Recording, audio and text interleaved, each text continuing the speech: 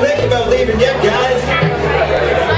This next song is called Out on the Dance Floor. It'd be the most appropriate song for everybody to get up and out of the dance, you know what I mean?